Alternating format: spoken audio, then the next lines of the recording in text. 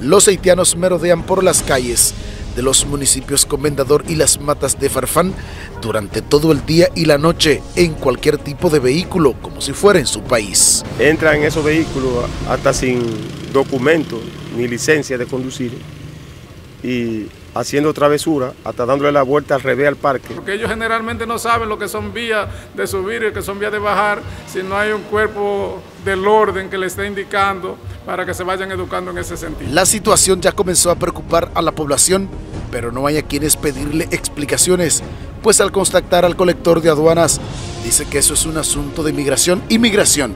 Se cubre diciendo que los vehículos entran al país solo si tienen un cruce de frontera, el cual deberán pagar en aduanas. Tu pasaporte al día y chequeo por 20 dólares y tengo que el vehículo que está en el nombre tuyo, el, el, lo que venía el vehículo, tengo que estar en el nombre de él. ¿Y, el cruce, el cruce, cuánto vale? 100 pesos, 100 pesos.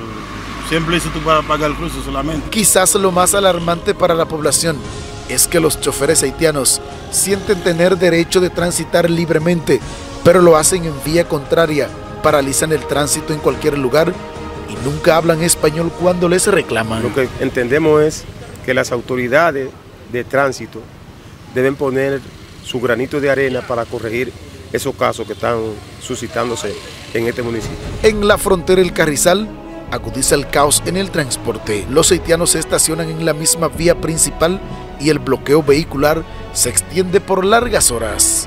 Sandy Familia Noticentro.